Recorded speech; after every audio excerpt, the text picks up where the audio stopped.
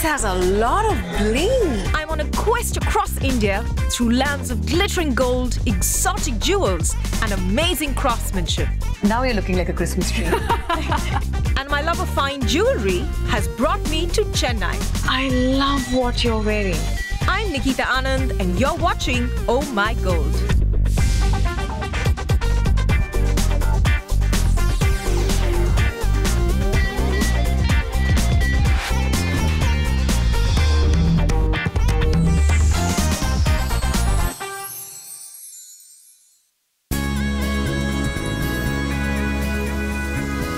Chennai, the capital of Tamil Nadu, is a dynamic metropolis steeped in history.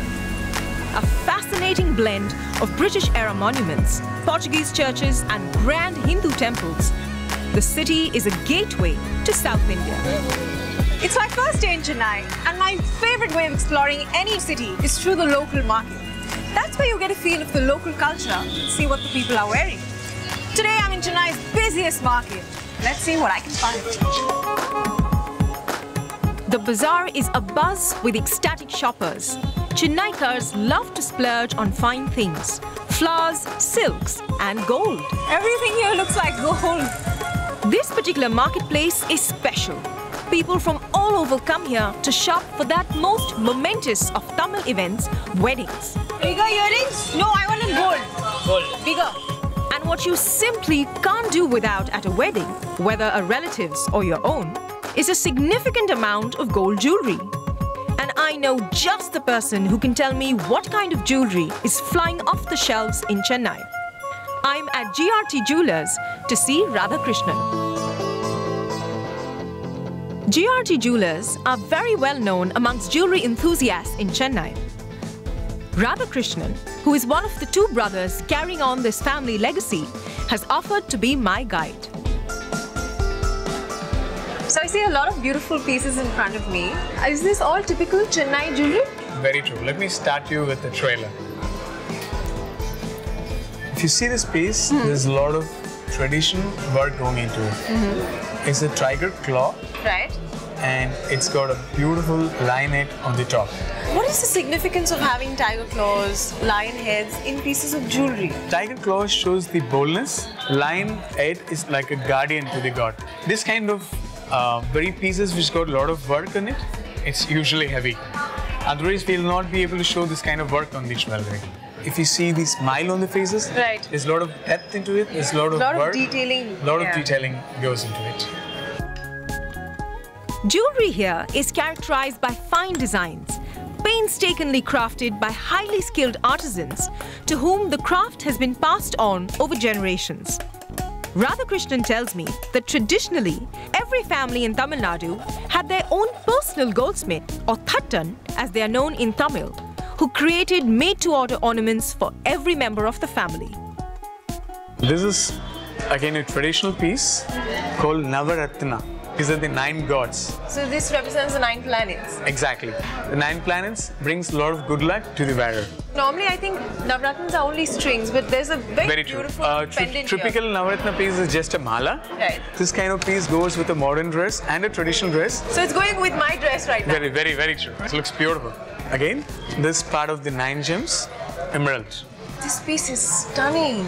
These are all uncut, natural emerald. If you take traditional Tamil Nadu women, they love to wear stones. Right. So this has come from that history. Since centuries, gems and colored stones have not only been used in jewelry for aesthetic appeal, but for their supposed healing powers as well. Some even believe that these also work as lucky charms and may influence one's destiny. See the beauty of this ruby? Unlike the emeralds, these are cut. Right. The fire and the luster comes from the cut of the ruby. So is that what makes it appear transparent? Exactly. And this is a very traditional design. So is this a piece that probably, you know, a woman from every household in Very Chennai would have? Every woman must have. So what is the one piece that I must take back with me? Since you're asking, I'm going to show you another beautiful piece. Okay. This is the piece with a lot of bling. Exactly. It's got a lot of glitter, luster and fire, and a traditional end of the piece. So this piece probably would be the epitome of what traditional Chennai jewelry stands for since it has the motifs, it has the precious stones. Very, very true. It's like all the best of all pieces are there in this one piece. When it comes to ornaments, Chennaikars seem to have a simple motto. When you've got it, flaunt it. I'm meeting someone who can tell me a thing or two about how to flaunt the glittering stuff in ways that go beyond just wearing it. Madhuvanti Arun is a dancer, art collector, and she's introducing me to the lustrous world of Tanjore paintings. It's very fascinating. Mm-hmm. The gold here is also used to decorate houses. Yes, but before we go into decorating houses, would mm-hmm. you like to see some of the boxes that I used to put this fascinating jewelry in? Absolutely. Look at this. You know for sure what this box is because you have the image of a necklace embossed onto it. Is this real gold? Absolutely 24 carat gold leaf, real gold. Wow. Tanjore paintings are a classical art form that originated in Thanjavur, a small town 350 kilometers south of Chennai. Tanjore art traces its origins to the 16th century. Today, it's all the rage around the country as art makes its way into the homes of the rich and famous. This painting actually has real gold and real gems as in rubies, emeralds, diamonds. and even pearls. Wow. Because this is goddess Lakshmi, so we put her with all the jewels because she's the goddess of wealth Wealth. for us. But some of the other paintings have glass, semi-precious Right. stones, things like that. So people love their gods and goddesses and they love their gold and they found a unique way of Yes. combining The both two. two. Yes. And also keeping it near them, close to them, around them. And worshipping them and feeling good, looking at their gods, looking at themselves and enjoying the whole process. So if you look at it, each painting is different from the mm. other. But it's all real gold. Oh yes, the gold doesn't change. Come what You can't may. Play around with the gold. No, we don't play around with be our real gold. gold. It has to be real gold. Traditionally, Tanjore paintings depict gods, goddesses, and saints. But it has a more contemporary avatar too. Artists are experimenting with various subjects and forms and taking Tanjore art beyond its medieval aesthetic. Here's something I'm going to show you. Open it. A visiting card holder. Absolutely. Tanjore art, very beautifully embossed into the wooden card holder. Right. Little bit of creativity that I want to show you is that you can have your name written in gold on your door. But you see, I don't see myself using this. You don't? No, and I'll tell you why. Because I'd always be worried that someone's going to come and steal this gold. well, there are many people in this Who city who put this up on their doors and feel mightily thrilled that they have their names written on gold. Chennai might possibly be the only city where you can proudly and rather loudly announce your name on a custom made plate of gold. There really is no way of escaping the allure of the yellow metal here. Here's a double stone pearl neckpiece. It is studded with a lime green emerald and a light pink ruby. Its contemporary style is perfect for a fresh, youthful look. Team it up with a light summer dress like this one. what is it about terracotta that you really like working with? This is a 7 course, 24 carat gold encased South Indian meal.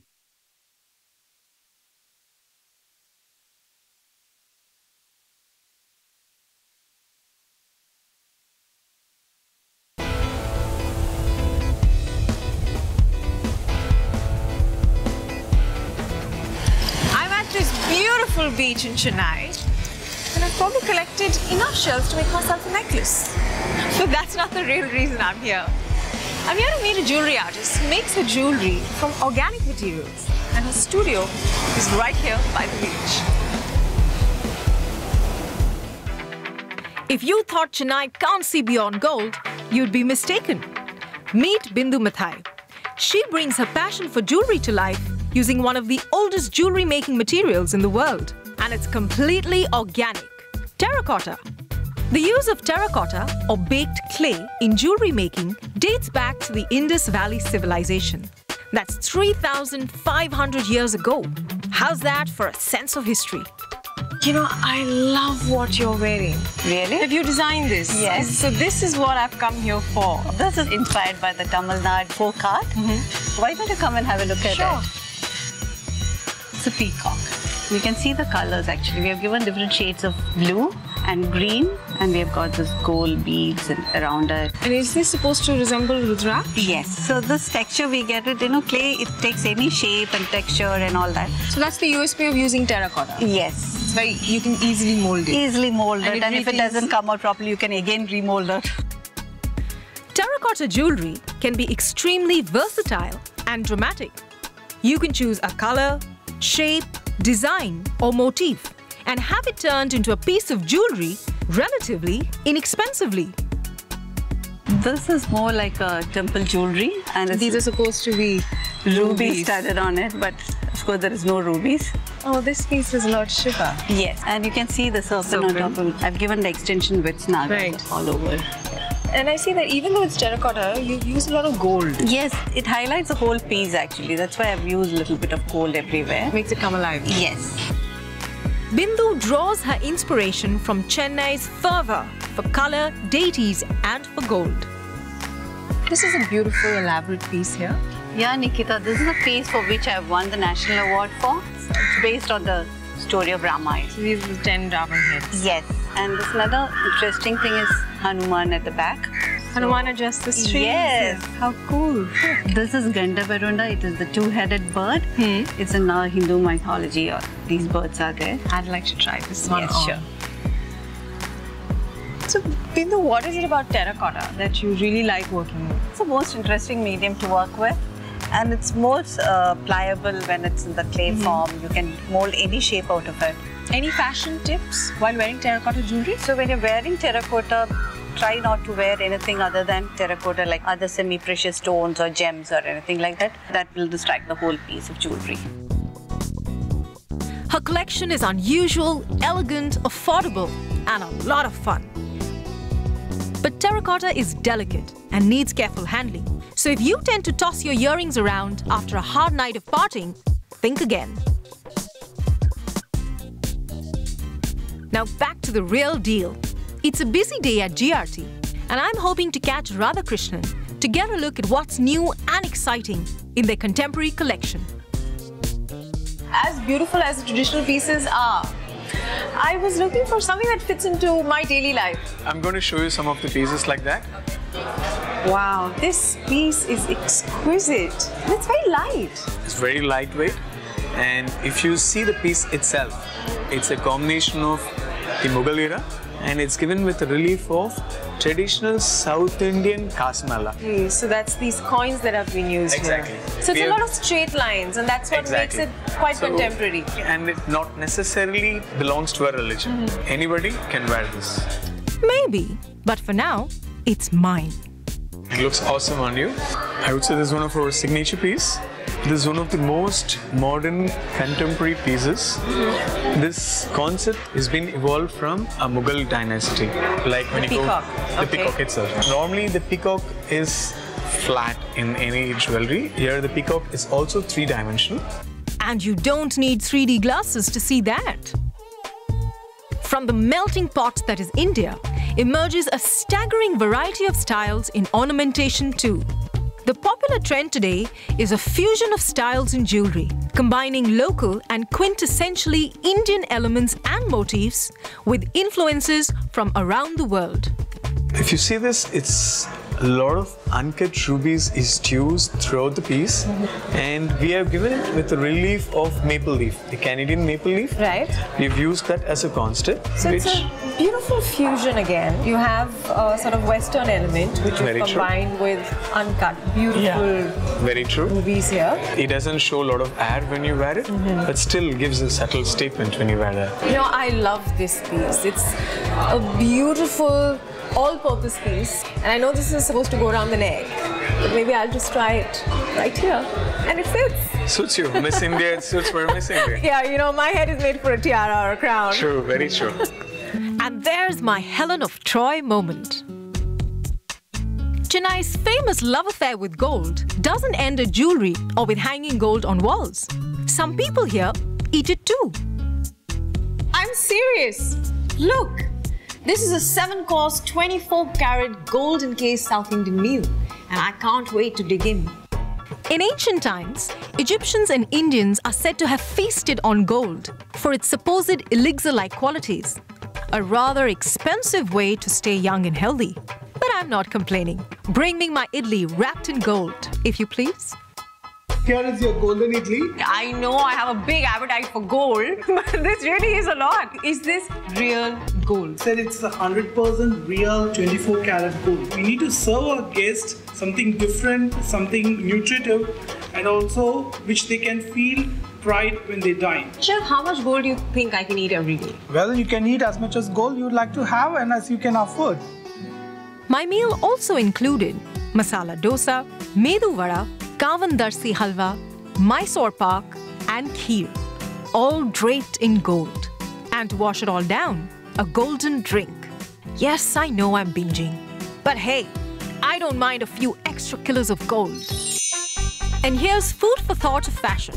Glam up your monochrome dress with this dramatic diamond bib. Or for understated chic, choose a more delicate piece like this one. And remember to pick a piece with colored stones that match your dress. Now you're looking like a Christmas tree. I like this piece. I would like to try this on.